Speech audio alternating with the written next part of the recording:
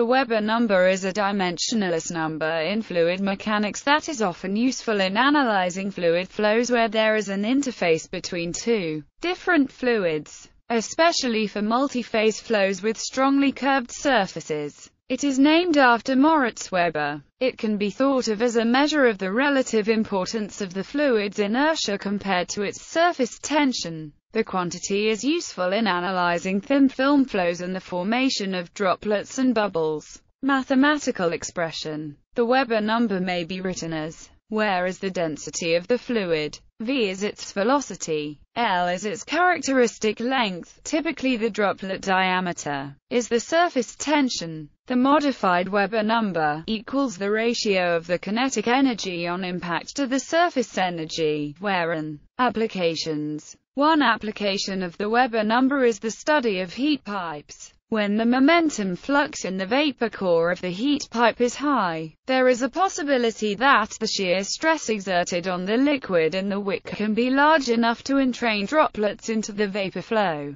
The Weber number is the dimensionless parameter that determines the onset of this phenomenon called the entrainment limit. In this case the Weber number is defined as the ratio of the momentum in the vapor layer divided by the surface tension force restraining the liquid, where the characteristic length is the surface pore size.